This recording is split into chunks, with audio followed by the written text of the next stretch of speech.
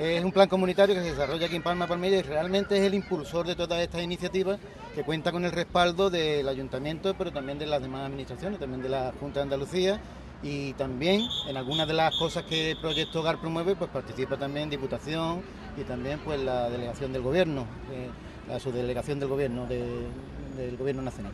Entonces cuenta Proyecto Hogar también con el respaldo de los diferentes grupos políticos municipales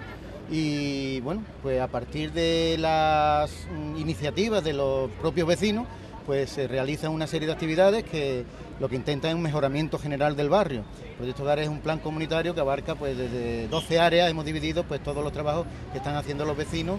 como localización de las necesidades. Es un barrio de transformación social, necesita muchas cosas del barrio, tiene muchas cosas conseguidas, no es un barrio diríamos marginal en el sentido de que los vecinos de aquí no somos marginados, yo soy vecino del barrio, no somos marginados, pero sí que es un barrio con muy importantes carencias y bueno, pues detectamos las necesidades e intentamos ir a la raíz, a la raíz de donde están las soluciones.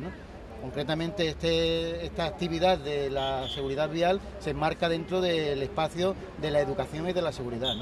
Entonces, por eso intervienen los niños del barrio, los diferentes colegios, las diferentes entidades, colaboran todas las entidades del barrio prácticamente en el proyecto Hogar, no solamente los colegios, también los centros de salud, los diferentes colectivos, asociaciones vecinales, asociaciones de otra índole, de índole ONG. Entonces, todo esto estamos colaborando y una de ellas es precisamente este tipo de educación en, la cuestión vial.